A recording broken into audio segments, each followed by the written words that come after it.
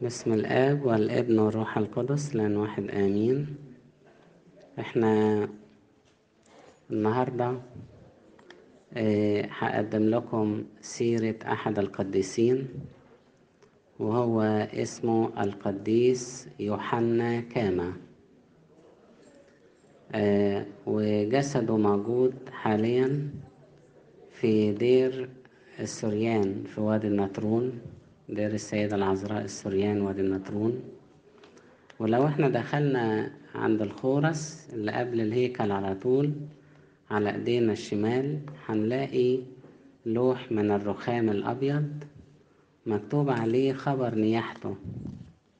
بيقول إيه؟ باسم الثالوث القدوس المساوي في الجوهر الآب والابن والروح القدس. قد صار انتقال أبينا المطوب الأنبا يوحنا كاما في اليوم الرابع والعشرون من شهر كيهك في الساعة الأولى من الليل في اليوم الخامس والعشرون من رئاسة الأنبا قزمان رئيس أساقفة الأسكندرية وإدارة القديس الأنبا يحنس وبعد عشرة شهور من انتقال أبينا القديس كمسرة الله وتوفيقه تنيح أيضا إلى الله الآب استفانوس في اليوم التاسع من شهر هاتور وهذا الأب استفانوس كان ابنه الروحي. في هذه السنة عينها قد تنيح كلاهما الاثنان بسلام من الله آمين. وذلك في سنة 575 للشهداء من استشهاد القديسين تحت حكم ملكنا وربنا يسوع المسيح. 575 للشهداء دلوقتي اللي هي سنة وقتها يعني كان سنة 859 ميلادية. 859 ميلادية. إيه حكاية الأنبا يوحنا كاما أو الأنبا يؤنس كاما؟ طبعا اسم يوحنا هو نفسه اسم يؤنس هو نفسه اسم يحنس. لأن لما اللسان العربي ابتدى يتكلم لغة عربية بعد ما كان بيتكلم لغة قبطية وكان اسم يؤنس بيتنطق يوحنس. فلما بقى عربي فبقى يوحنس فبقى يحنس. آه يحنس كاما.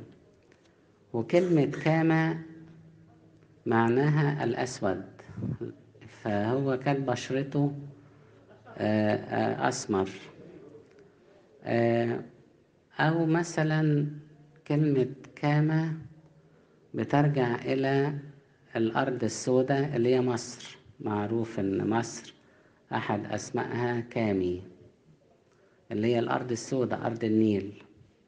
والناس مش عايشين غير على الأرض السوداء الأرض النيل. فيحنس كاما يعني يحنس المصري. آه القديس العظيم دهوت آه زي ما قلنا إن هو اتنيح سنة 859 ميلادية يعني في منتصف القرن التاسع الميلادي. السيرة بتاعته السيرة بتاعته يعني القصة بتاعته كتبها تلاميذه. كتبها إيه؟ تلاميذه.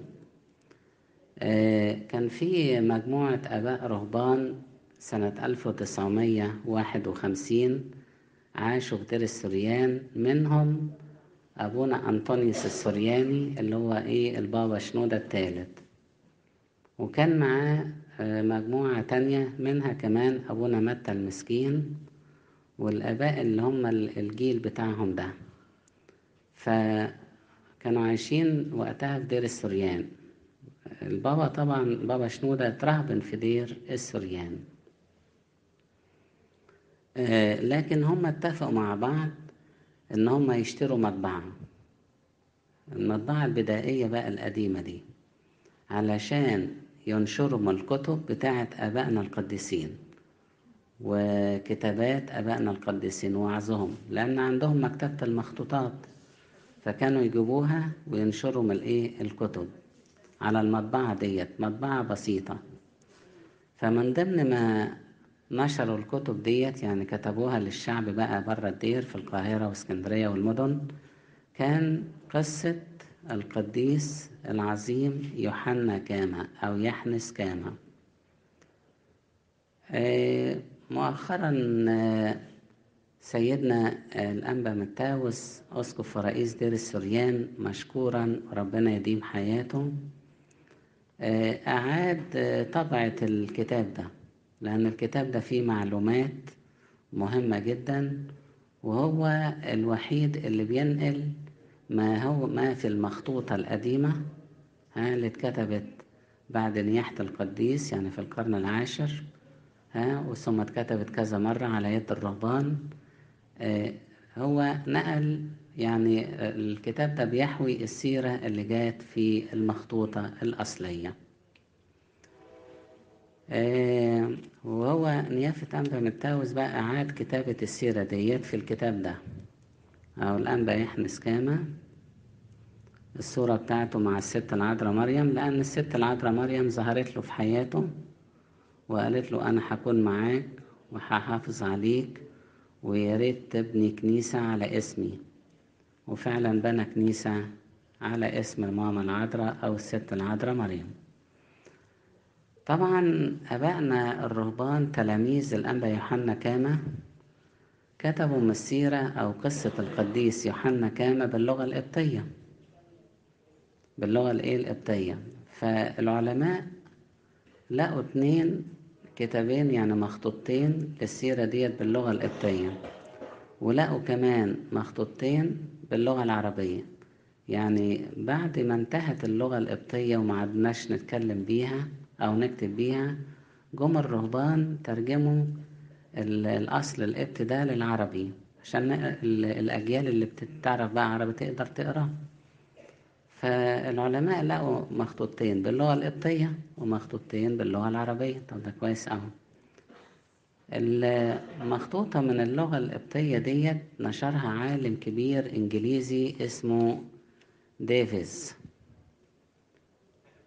آه، نشر النص ده يعني. طبعا في الدراسات الأكاديمية لها اعتبار كبير لأن ممكن اللي بيدرس قب- قبطي واللغة القبطية بياخد النص يدرس بقى اللغة القبطية على الأقل في القرن ده كانت عاملة إزاي و- وإيه ألفاظها وإيه الحروف؟ وهل النص ده صعيدي ولا بحيري؟ لأن اللغة القبطية كانت لهجات في لهجة صعيدي. بدل ما يقولوا إيفول يقولوا يول. يعني إيفول بالبحراوي. في الصعيد ينطقها يول ما ما يجوش حرف الايه الفيتا ده. ففي فرق يعني كان في كمان لهجة أخميمي وكان في لهجة آه، خاصة بالنوبة. كان في لهجة للفيوم آه، وكان في لهجة اسكندراني دي اللي اسمها البحيري بقى. خدتوا بالكم؟ فالعلامة الكبير ده نشر السيرة باللغة الايه القبطية. جه بقى ال- السيرة التانية اترجمت بقى للإيه؟ للعربي. جه أب آه، مؤخرا يعني في الستينات. أب راهب كان اسمه أبونا إبراهيم الأنبا بشوي من دير الأنبا بشوي كانوا زمان الآباء كده يقعدوا في القلاية يجيبوا المخطوطة يقعدوا يكتبوها ينسخوها. فهو راح جاب النص القبطي لأن كان بيعرف اللغة القبطية كويس. فهو ترجم بقى من القبط للعربي عشان نقدر نقرأ الإيه؟ النصوص ديت يعني يعني ترجمها تاني يعني.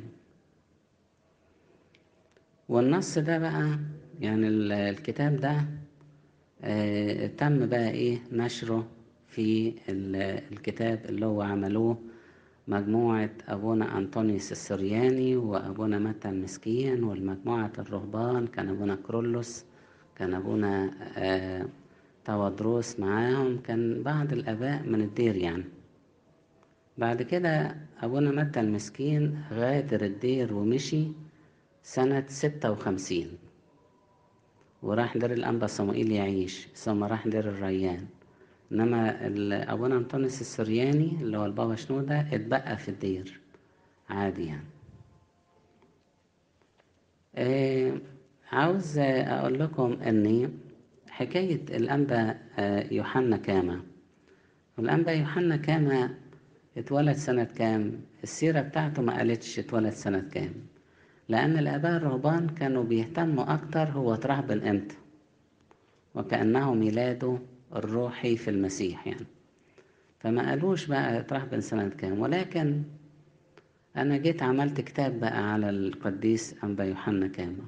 ولازم أطلع حاجة جديدة.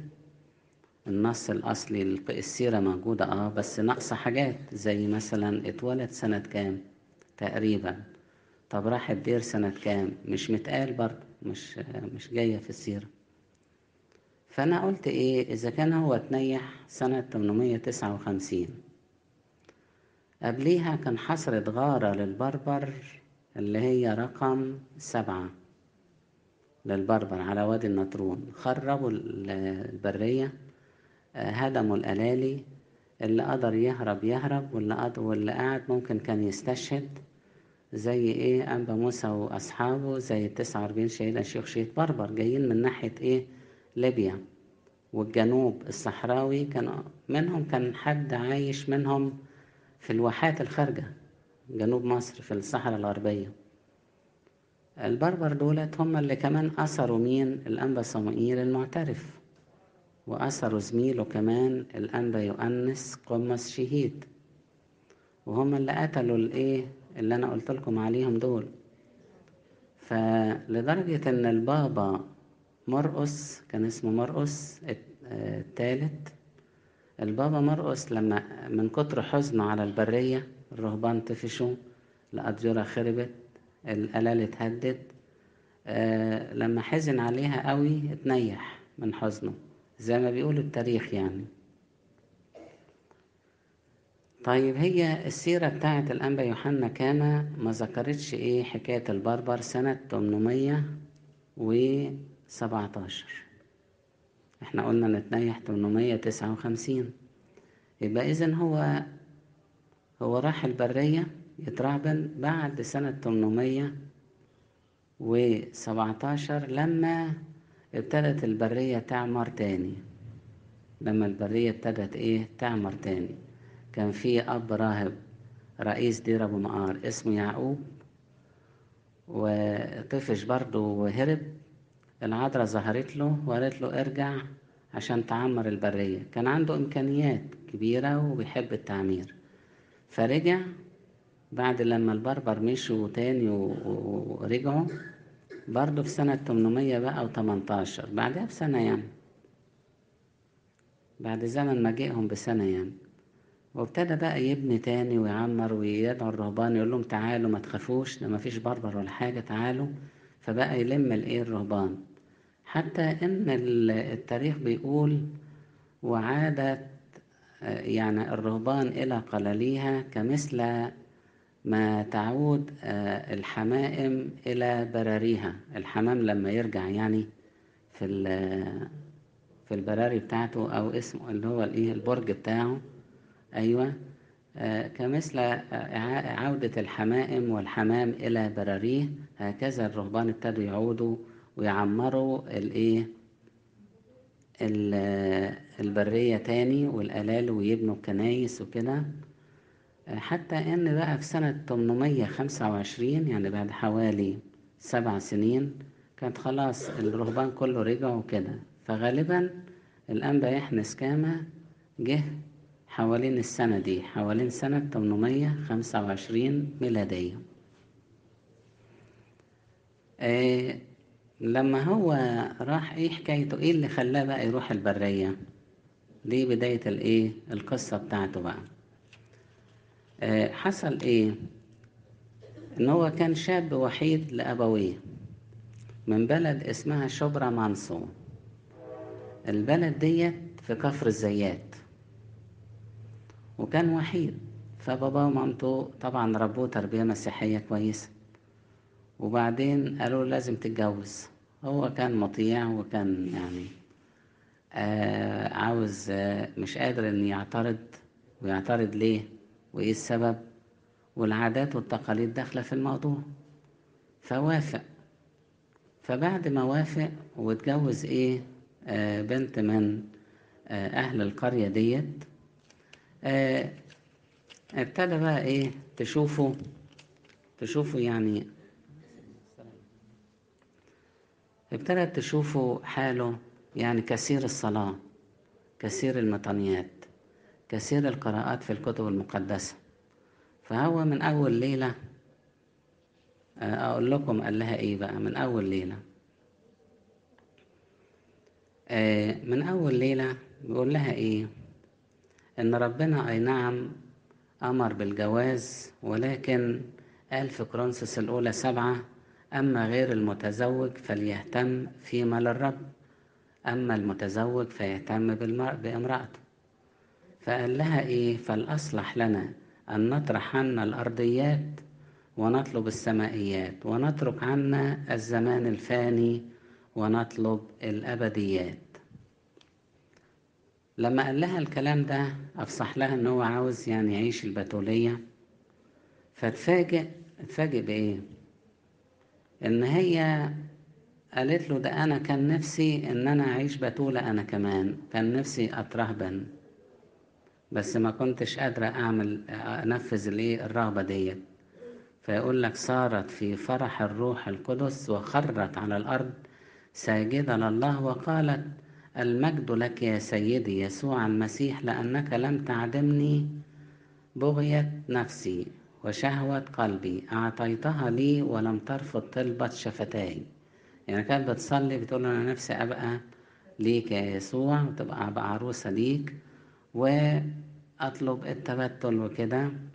فاتفاجئت إن يوحنا اللي هي يعني جوزته بيطلب منها نفس الطلب ده.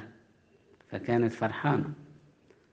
يوحنا كان قاعد يصلي ويقول أيها الرب إله القوات أسجد لك لأنك إلهي منذ كنت في بطن أمي. فأمنحني يا رب أن أكون في طهارة البتولية إلى التمام.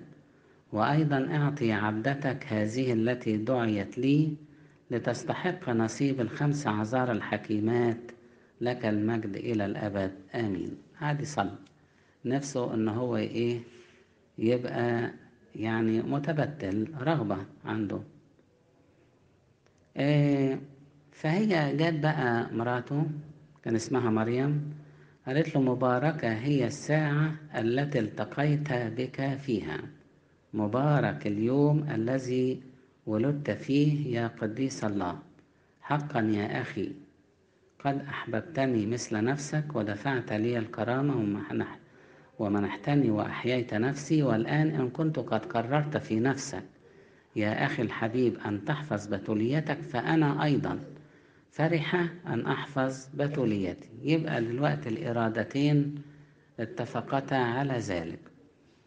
أنتوا عارفين ان النوع ده من التكريس يعني الحياتي حتى في العصر الحديث يعني أبونا بشوي كامل كان متفق مع تصوني أنجيل مراته إن هما يعيشوا كده متبتلين. ماشي. آه فعاشوا وتنيحوا وهما متبتلين. وفي النماذج دي متكررة يعني أنا أعرف حالات برضه زي كده. دي زي ما تقولوا تقليد بقى صار في الحياة المسيحية الكنسية عندنا إحنا الأقباط إن ممكن يبقوا الاتنين يتبتلوا بس بموافقة الاتنين لبعض مع بعض أو باتفاق الإرادتين وإن كان إن إن ده مش مش مفيش قانون بيبيح كده. بس ديت حاجة اجتهادية من الطرفين. يعني مفيش قانون في الكنيسة بيقول يجوز كذا كذا كذا. لا. دي, دي إرادة من الاتنين. عليه إيه السبب في كده؟ عشان يتفرغوا أكثر للعبادة للصلاة على الأخص إن هو آه القديس يوحنا كان كان عايز يطلع على البرية وهي كمان كانت عاوزة تترهبن. وفعلا راحت دير وقضت فيه بقى حياتها وتنيحت وهو راح على الإيه؟ البرية. ظهر له الملاك. ظهر له الملاك وقال له أنت تروح لدير أبو مقار. يعني جماعة أبو مقار أو رهبان الدير يعني. طبعا كان أشهر يعني دير وأشهر رهبان كانوا دير أبو مقار يعتبر الدير الرئيسي ل... ل... ل... لكذا حاجة. كان الدير الوحيد اللي طلع حوالي تقريبا آه 17 آب بطريرك. كان الآب البطريرك اللي يترسم لازم يروح دير أبو مقار علشان قمص الدير يقرأ له التحليل. عوايد يعني تقاليد آه بتنم على أخلاق رهبانية ليس إلا يعني. آه كان أول البطرك ما ينزل من القاهرة ورايح وادي النطرون هيقابل في السكة على طول دير أبو مقار. فكان يروح يحود عليه الأول نظرا لأن كمان في كمان أكبر عدد من الرهبان كانوا يستقبلوه بالشموع وبالصلوات وبالبيارق كان الملوك أحيانا يحبوا يزوروا الدير لأنه برضو أكبر دير أشهر دير أعظم دير في رهبان كتير. كان كان وقتها كده يعني في القرون ديت. كنت عاوز أقول لكم إن محبة ربنا ظهرت ليوحنا كاما ومراته إن يقول لك طلعت كرمة نبتت في الحجرة أو في المكان اللي هم كانوا بيقيموا فيه غطى البيت كله كرمة كده خضراء يعني. يقول لك وأيضا حدثت أعجوبة عجيبة أمر الله أن تنبت كرمة طلعت في الخدر وأزهرت في البيت كله وأثمرت. فها صار هذا برهانا صادقا وشهادة لطهارة أبينا القديس الفاضل وفضائله العالية وكمان زوجته. الملاك لما ظهر له قال له بقى هتروح في المنطقة بتاعة برية أبو مقار هتلاقي قلاية ساكنها شيخ كبير اسمه دروسيوس الآباء بيختصروا كلمة دروسيوس يقولوا عليه درودي يعني يختصروا الاسم إنما هو دروسيوس قال له تروح للشيخ دروسيوس هيعلمك الحياة الرهبانية هناك. فوصل هناك فعلا وسأل على قلاية القديس أو الأب دروسيوس فكانت عبارة عن منشوبية منشوبية يعني منزل باللغة القبطية فيها الشيخ ومعاه تلاميذ بيعلمهم الحياة الرهبانية شوية الشخص الراهب اللي يلاقيه يعني كويس في الحياة الرهبانية يقول له اطلع بقى اعمل مغارة أو ابن الله يعيش فيها اعتمد على نفسك. فراح بقى يوحنا كاما للشيخ دروسيوس أو الأب إيه؟ دروسيوس. وكان الأب دروسيوس دوت رجل سورياني يعني من سوريا. أنتوا عارفين ان إحنا والسوريان والأحباش والنوبيين والأرمن خوات في الإيمان. فحتى بنلاقي إن في أديرة نشأت في وادي النطرون دير للأرمن وطبعا الدير بتاعنا اسمه دير السوريان كان عايش فيه سوريان من سوريا. وكمان دير الأحباش من إثيوبيا وكمان في دير اسمه دير النوبة. كل دول لدرجة يا أحبائي لما كان البطرك يجي يزور البرية زي ما قلت لكم في المنطقة ديت كانوا طابعين المزامير عارفين كتاب الأجبية؟ مزامير. آه فطابعين المزامير بالست لغات. علشان أي راهب أنت سورياني هتقرأ عندك سورياني. آه بست في ست أنهار كده في الصفحة فيه سورياني وقبطي وكمان آه عربي وأيضا نوبي أو حبشي. ويوناني وأرمني. فكان الرهبان كله يصلي مع البابا أو في استقباله أو من الأجبية كل واحد باللغة بتاعته. خدتوا بالكم؟ ده كان موجود لغاية قريب لغاية 600 سنة فاتت. بس خربت بقى الأجورة دي تاني كلها أيام المماليك. خربت واتهدت والرهبان طفشوا واللي اتنيح واللي مات وكده يا عيني. ما فاضلش غير إيه؟ أربع أجورة. رغم إن كان في الوقت القديس يوحنا كاما ده كان في حوالي 52 دير ومنشوبيات كثيرة جدا ألال كتيرة ومغاير بس إيه التعب اللي شافوه الرهبان في البرية آه أنهى على التجمعات الكبيرة أوي ديت. فالأنبا يوحنا كان اتعلم التسبحة والمزامير على يد الشيخ دروسيوس ابتدى بقى يجاهد في حياته الروحية. آه، ابتدى تظهر فضايله.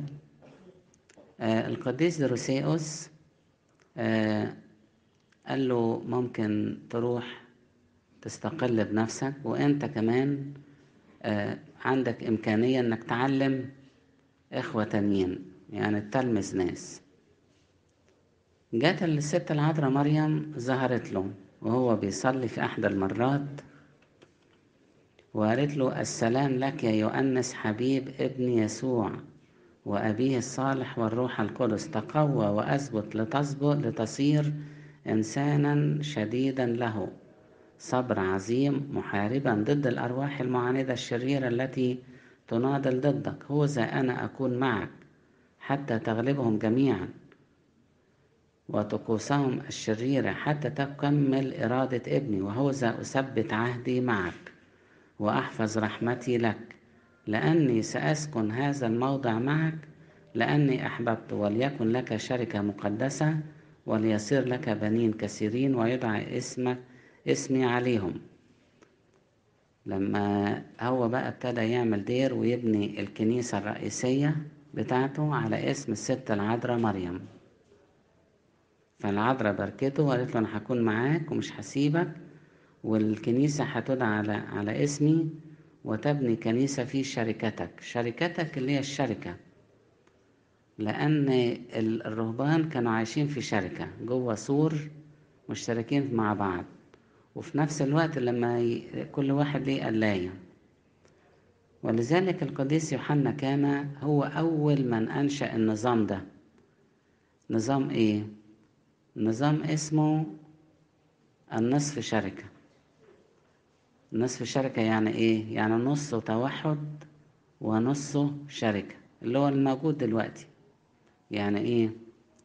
يعني إحنا كلنا في شركة داخل أسوار قاعدين مع بعض. وفي نفس الوقت كل واحد ليه قلايته متوحد فيه. مظبوط كده؟ فاسمه النظام المختلط ما بين الوحدة والشركة. ده نظام الرهبنة القبطية الحالي. إنما كان قبل كده إما نظام وحدة فقط اللي أسسه الأنبا أنطونيوس وإما نظام كلهم يعيشوا في مكان وكمان يباتوا في عنابر يناموا في عنابر وفي مواعيد. يقوموا 12 بالليل يصلوا مزامير نصف الليل ثم يعملوا التسبحة ثم يطلعوا على الكنيسة يصلوا القداس ياكلوا مع بعض في نظام مايدة كل حاجة مشترك ده نظام الأنبا بخمس إنما الأنبا يوحنا كاما لما لقى البربر بيهجموا على الألالي ديت فبي بيقتلوا الرهبان مثلا بيهدوا الأماكن فعمل سور كبير عالي وعمل جواها الإيه؟ الألالي. طيب يبقى يعيشوا في وحدة أهو. طيب إنما في في معاهم كمان نظام مايدة بعد القداس الأغابي أو مثلا يشتغلوا مع بعض أو يصلوا الغروب مع بعض يصلوا التسبحة مع بعض. فبقى ده النظام اسمه إيه؟ نظام النصف شركة. جه بقى الأنبا يحنس كان بنى دير الملاك قال له تروح تبني بقى دير شرق شرق كنيسة الأنبا يوحنا قصير ده كان دير بقى قديم قوي موجود في المنطقة دي من القرن الرابع اللي هو كان زميل مين؟ الأنبا بشوي. كان عمل دير باسمه أو اتعمل دير على اسمه اسمه دير القديس يوحنا القصير. وكان في مغارة تحت أرضية الكنيسة بتاعته. فالرهبان بنوا كنيسة فوق المغارة دي. فالملاك قال له تروح بقى تبني الدير بتاعك في شرق الإيه؟ شرق الدير. طبعا الديرين مع بعض قريبين من بعض حوالي 500 كيلو بينهم وبين بعضهم والاتنين يعتبروا في شرق جنوب شرق قبلي يعني دير الأنبا بشوي في منطقة في الصحراء يعني. فهنا القديس يوحنا كان عمل الدير. التف حواليه 300 أخ.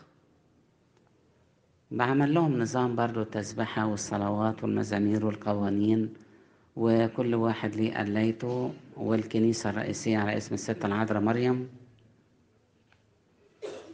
والحياة الرهبانية مشيت معاه. من ضمن العجائب اللي حصلت في حياته إن هو آه وهو بيصلي ظهر له القديس العظيم البابا أثناسيوس الرسولي. وقال له السلام لجميع أبنائك ولأولئك الذين يطيعون نواميسك. رائحة صلواتك الزكية صعدت إلى حضرة الله تذكارا لك إلى الأبد واسمك يدوم إلى كل الأجيال. وبعد كده اختفى. راح الأنبا يوحنا كام أمر أولاده الرهبان إن هم يذكروا القديس أثناسيوس الرسولي ضمن تسبيحة الثلاث فتية القديسين اللي هي إيه؟ أربصالين معرفش يعني امتداد الموضوع ده هو ما ظهرش في صلية الثلاث فتية إن مذكور فيها معاهم البابا أثناسيوس الرسولي. ولكن لربما إن ده كان قاصر على الدير ده بس زي ما أمرهم الأب بتاعهم. قال لهم لما تيجي تقولوا أربصالين والثلاث فتية القديسين قولوا كمان اذكروا القديس البابا أثناسيوس الرسولي. حصل إن في الدير حصل مجاعة. تقريبا المجاعات دي كانت بتحصل كل حوالي مئة سنة في مصر يعني كل فترة. فلما حصل مجاعة لربما برضو كانت جاية نتيجة وباء الطاعون وباء الأوباء اللي كانت بتحصل. المهم أو زلازل البيوت اتهدت. كانت بتحصل يعني حصلت في التاريخ كتير. فحصل إن كان في أياميها مجاعة. فالأنبا يحنس كاما كان مفيش حاجة يصرف على الآباء. مفيش معونة أو مؤونة معاهم. فصلى للست العذراء مريم فظهرت له. وعطت له إيه؟ تلات دنانير ذهب. عليها نقش علامة الصليب. وقالت له خد التلات دنانير دول تحطهم في الكيس بتاع الدياكونية. كيس الدياكونية لكيس الفلوس يعني؟ دياكونية بالقبطي هي أساسا كلمة يونانية. معناها الخدمة. الخدمة اللي هي بتاعت المطبخ المخازن الحاجات دي. فقالت له احتفظ بالتلات دنانير دول جوه الإيه؟ كيس الدياكونية. وفعلا المجاعة زالت والخير حل والدير ابتدى يتعايش لأن من الخطورة إن التجمعات الرهبانية ديت تفقر يبقى كده الرهبان هيطلعوا. أو لو لو سابوا المكان هيتهد. يعني مش حلو. لازم ندعم الأجرة والتجمعات الرهبانية ديت علشان يبقى في استمرارية للحياة الرهبانية لألا تندثر زي ما حصل كده في الأيام المماليك. خدوا الأوقاف بتاعتنا خدوا فلوسنا طفشوا اللقباط اللي أسلم اللي غير دينه واللي خرج بره الحظيرة. الأب البطريرك ما كانش لاقي يصرف. الأجرة وقفت اتهدت مشوا اللي تنيح اللي طفش. فحصل إيه؟ بعد ما كان في حوالي يعني الأعداد بالآلاف. كان في خمس تلاف راهب في القرن الخامس الميلادي وقبليه تلات تلاف ونص في وادي النطرون. وبعدين عمرو بن العاص جه يفتتح مصر فبيقول لك خرج إليه سبعون ألف راهب بالعكاكيز. خرجوا علشان يستقبلوه في منطقة الطرانة في النيل النيل اللي ماشي. والجيش العربي الجيش العربي إيه؟ ماشي. جاي يفتتح مصر يعني. فهنا ال ال كل ده اندثر وكل ده انهدم والرهبان طفشوا نتيجة المجاعة. فهنا العذراء مريم ظهرت القديس يوحنا كاما وأعطت له ثلاث دنانير إيه؟ ذهبية. في الدير كنا إحنا بنسأل الآباء الشيوخ طب والثلاث دنانير دولت فين؟ دي العذراء كانت موصية عليهم. فكان يقولوا لنا إن رئيس الدير عارف مكانهم بس لا يمكن يقول لحد عليهم. وإحنا إيه طلعنا على هذا الإيه على هذا القصة يعني هذه القصة أو التقليد ده. طب نياحة بقى القديس العظيم الأنبا يوحنا كاما آه لما وقته قرب القديس يوحنا كاما جمع التلاميذ بتوعه وقال لهم أنا هوصيكم وصية لا تتجادلوا مع هراطيقي ولا تدخلوا بيتا مع امرأة ولا تتكلوا على الرؤساء ولا تأخذوا لكم قنية بل ليكفيكم شغل أيديكم. وبعد كده اتنيح رفع عينيه لقى جمهور من الملائكة ومعاهم الست العذراء مريم وأخذت روح القديس يوحنا كان ده يا أحبائي كان ليه مكانة كبيرة وسط الحياة الرهبانية في كل مصر حتى إن رهبان من الصعيد طلبوا إن هو يروح يزورهم علشان يسمعوا تعاليمه. ففعلا راح وسكن في دير في الصعيد وما رجعش إلا لما العذراء ظهرت له قالت له إن تلميذك شنودة مريض جدا فيلزم إنك أنت ترجع الدير فلما رجع وصلى لتلميذ شنودة شفي في الحال. كان تلميذ شنودة ده من الأوفياء جدا حتى إن هو كان كثير الصلاة والتقشف آه لدرجة إن كان يحب الصلاة فما كان يقع كل شوية. فكانوا يجيبوا له حجارة تحت إيده كده تسنده دي جهادات أبائنا القديسين يعني. زي ما الأنبا بشوي يعني يحب الصلاة جدا ومش عاوز ينام وقت الصلاة فربط إيه؟ شعره. آه فدي جهادات بنقول عليها جهادات عند أبائنا الرهبان. آه بالنسبة لنياحة القديس بقى تنيح يوم خمسة وأربعة وعشرين كياك بس هو زاد يوم بالتقويم الحديث يعني بقى خمسة وعشرين كياك بحسب الايه السنكسار كمان اللي جاب سيرته. آه بالإضافة إلى إن اتكتبت سيرته بقى بواسطة إيه تلميذه شنودة كان ليه عدة تلاميذ كان له عدة إيه تلاميذ. آه من ضمن تلاميذه آه واحد اسمه إستفانوس. وإستفانوس دهوت اتنيح قريب قوي بعد نياحة معلمه القديس يوحنا كام علشان كده اسمه جه في اللوح الحجر اللي, اللي فيه خبر نياحة الأنبا يحنس كامة زي ما أنا قرأت لكم. يعني بنلاقي في آخر النقش على الحجر دهوت اللي بيحكي نياحة الأنبا يوحنا كامة بيقول آه كمان آه وبعد عشرة شهور من انتقال أبينا القديس كمسرة الله وتوفيقه تنيح أيضا الأب استفانوس كان ابنه الروحي. بعد عشر شهور فلما كتبوا اللوح الحجر الشاهد الجنائزي ده كتبوا القديس يوحنا كاما وتلميذ استفانوس اللي تنيح. بعد يوحنا كاما بعشر إيه؟ بعشر شهور.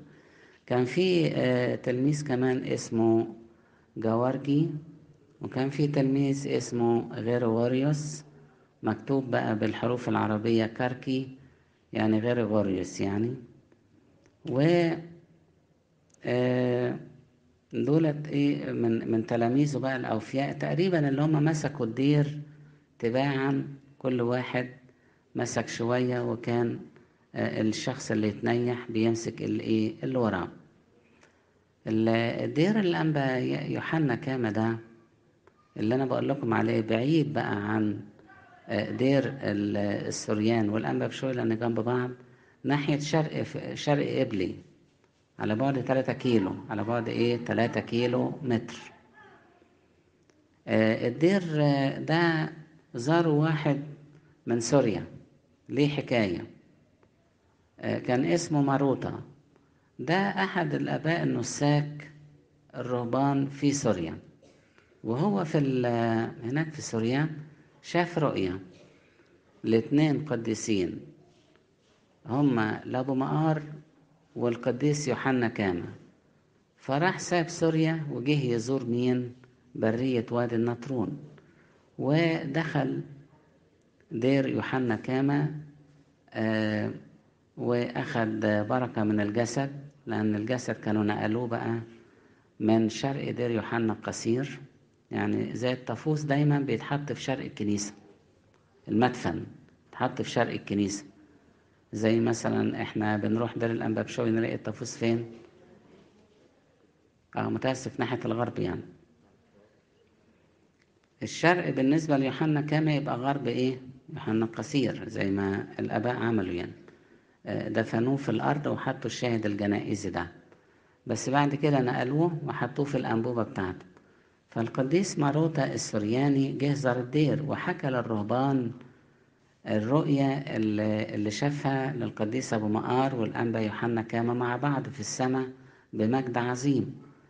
وبالتالي لما قاموا من الرؤية ديت رسم أيقونة فيها القديس أبو مقار وأيضا القديس يوحنا كاما مع بعضهم. خدتوا بالكم إزاي؟ وبالتالي عاش الأب دهوت في الدير لغاية لما اتنيح. فلما اتنيح التاريخ بيقول أنه ترك للرهبان ثوب الليف والأيقونة. ثوب الليف اللي كان إيه؟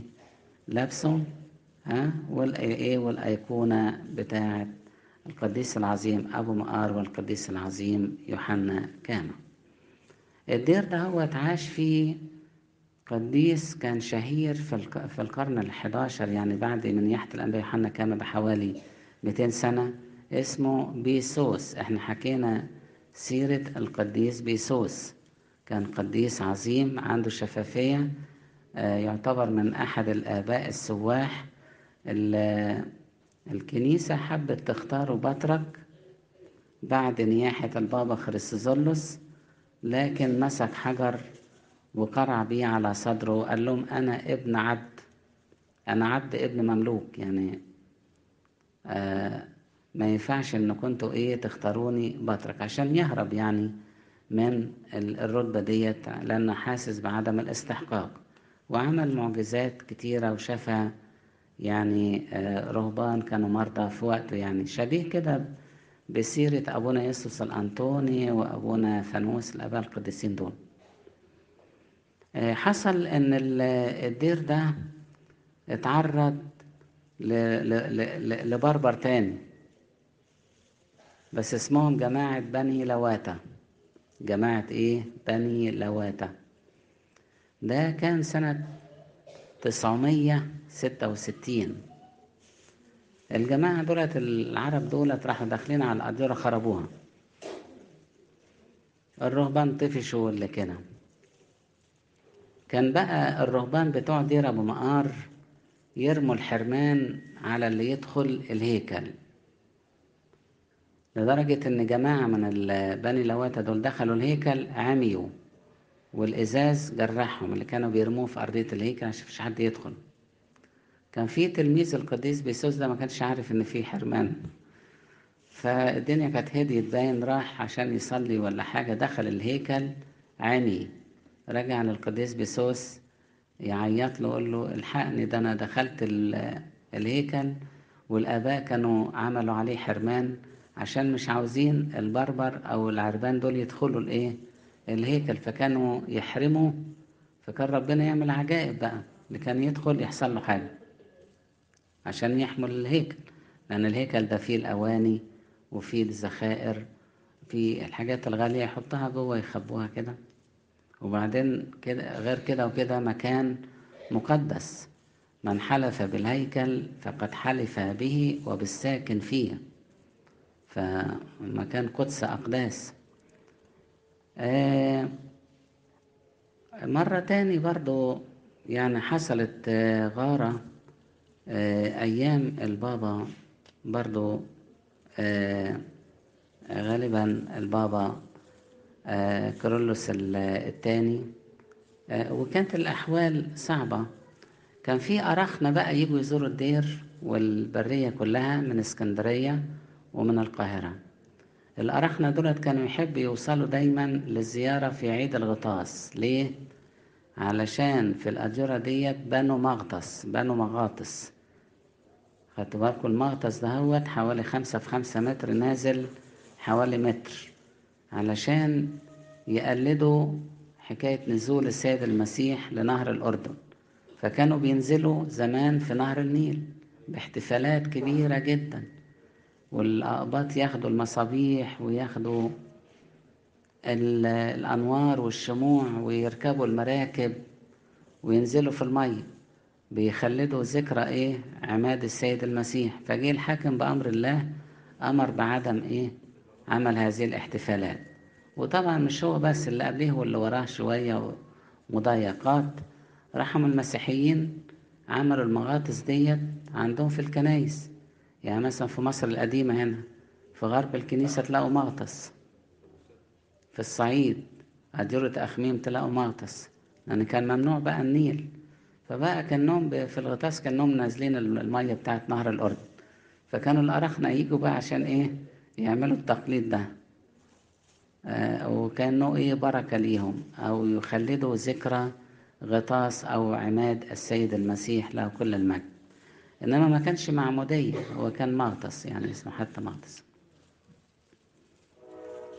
وبالتالي الأرخنة دولت كانوا يجوا الأجرة في الأيام ديت يجيبوا تبرعات للأجرة وللرهبان بالإضافة إن كمان كانوا يعيشوا يعني يعيشوا ذكرى الغطاس. رغم كانت البرية في الوقت ده تبقى ساقعة جدا ومطر ولا حاجة لكن كانوا بيقضوا الأيام ديت في البرية. ويمكن أنتوا لو سمعتوا سيرة القديس بيسوس آه اللي أنا حطيتها على اليوتيوب يعني اللي يحب يسمعها تاني. هيلاقي إن في كان جماعة جايين يغطسوا في الغطاس في البرية في الوقت ده والقديس بيسوس عمل معاهم معجزات كانوا جم واستضافهم وحط لهم إيه قارورة مية كده عشان يشربوا. يقول لك كانوا خمستاشر واحد قعدوا يشربوا وما خلصتش. من ضمن الإيه المعجزات بتاعتهم. آه بنلاقي بقى إن دير يوحنا كاما آه ابتدى يتعرض للمجاعات للأوبئة بتاعة القرن الأربعتاشر مضايقات من المماليك فرض ضرائب على الرهبان لدرجة كانوا يروحوا بتوع الضرايب يعدوا كم نخلة موجودة. آه في مئة نخلة في النخل ياخدوا على كل نخلة ضريبة. طب إذا كان في منحل ياخدوا عليه ضريبة. كده آه. كانوا كمان آه ممكن آه يفرضوا على الراهب نفسه ضريبة إن يدفع. فكل ده الدير ابتدى يضعف. يضعف ماديا. الأجرة ابتدت تضعف. الرهبان قال له ما عادش يجي الشباب عشان يرهبن. يعني ما قلت الدنيا صعبة. الأمور صعبة في العالم يعني في المدن وفي القرى خاصة المسيحيين. وبالتالي الأجرة إيه؟ خف فيها الرهبنة خف فيها ال... ابتدى الرهبان في يوحنا كام الدير صفصف على راهب واحد في القرن الإيه؟ الخمستاشر يعني أيام المماليك ده. كان قبليه في البابا آه البابا آه آه بنيامين الاتنين وتمانين رقم اتنين وتمانين. كان رسم خمسة وعشرين كاهن وتمنتاشر شماس يعني كان في عدد كويس. قبلها بحوالي مية وخمسين سنة. قبل كده كمان كان في عدد معقول. إنما بعد كده بقى في راهب. بعد عصر البابا بنيامين فمعناها إيه؟ إن الدير خلاص ده في خطر. فبقت فعلا المباني تتهد الدنيا تبقى إيه؟ صعبة. وبالتالي الرهبان كانوا يلحقوا ينقلوا الذخائر الهامة جدا من الأجرة دي اللي بتتهد للأجرة الكبيرة. فراح رهبان السوريان قالوا لا إحنا نروح ناخد جسد يوحنا كاما عندنا. لأنه أساسا التلمذ على واحد سورياني اسمه دريسيوس اللي هو برضو تودروس أو اللي هو تدرس اللي هو اللي هو كمان سيئزورس كل ده اسم واحد. سيئزورس تودروس دروسيوس تدرس هو ده اسم واحد. فقالوا ده راجل سوريان يبقى إحنا إيه؟ نروح ناخد الجسد وننقله دير السوريان طب بتوع دير مقار الرهبان. قالوا لا إحنا نلحق ناخد الجسد القديس يوحنا القصير اللي جنب دير يوحنا كاما بسرعة وننقله. فراحوا فعلا أخدوا جسد إيه؟ يوحنا القصير. وانتوا تلاقوه فين؟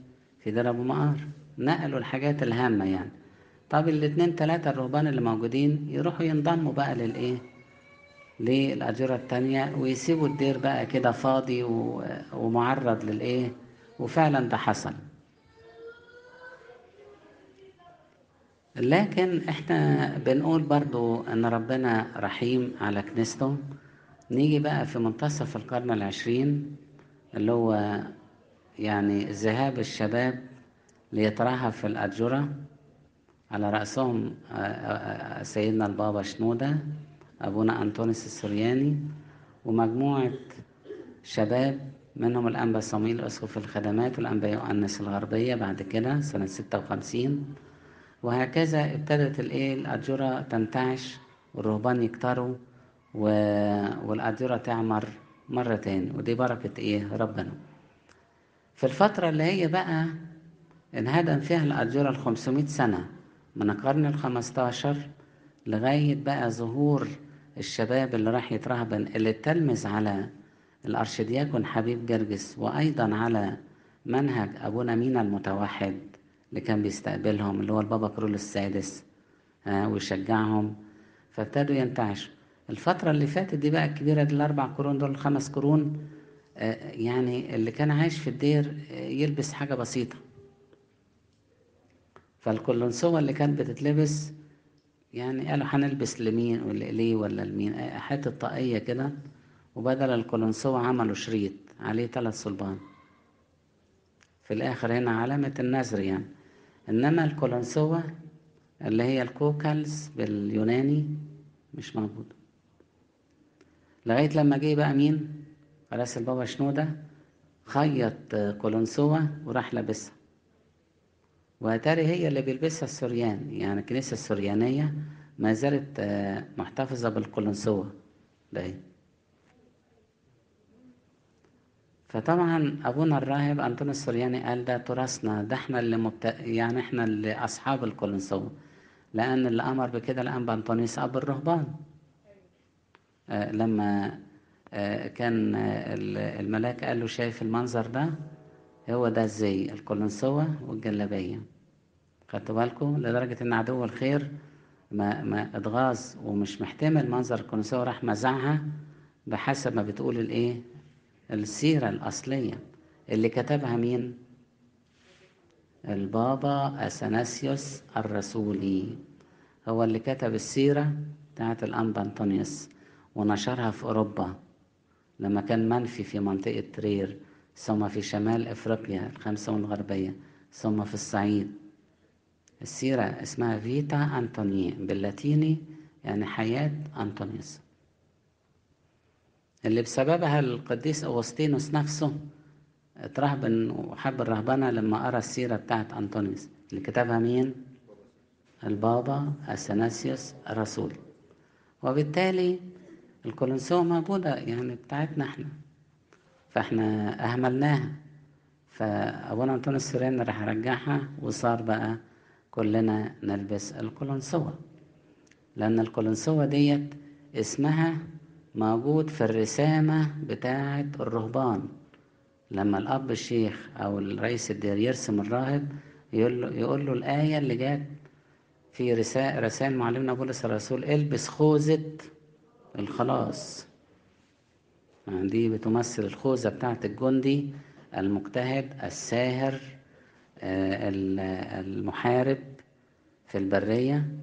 وكمان القديس يوحنا ذهبي الفم قال إن المصريين بيلبسوا القلنسوة التي هي قلنسوة الطفل الصغير رمز للبراءة والسلام عند الرهبان. لأن هو كمان اللي قال لا تقل أنهم بشر أرضيين بل قل أنهم بشر سمائيين. فهو شبه الراهب اللي لابس القلنسوة دي بالطفل الذي يلبس الإيه؟ قلنسوة مش الأطفال بيلبسوا كده قلنسوة عشان البرد. خدتوا بالكوا إزاي؟ فهنا بقى إيه؟ هنا بقى يعني إحنا بنأخذ بعض الملاحظات على سيرة القديس يوحنا كاما إن هو أول من أنشأ النظام التوحد والشركة في نفس الوقت. نظام أنبا أنطونيوس ومعاه نظام الأنبا بخومس أب الشركة كان في زمن متأخر يعني في زمن القرن التاسع الميلادي بيكمل مسيرة الآباء الكبار بقى العظام اللي كانوا في القرن الرابع الميلادي زي القديس الأنبا بشوي القديس الأنبا يوحنا القصير القديس أبو مقار القديس أنبا بموة. القديس أشعياء الأسقيطي يعني كم من الإيه؟ كم من الإيه؟ من القديسين. ربنا يبارك حياتكم دايما تكونوا بخير. لربنا كل مجد دائما أبديا. آمين.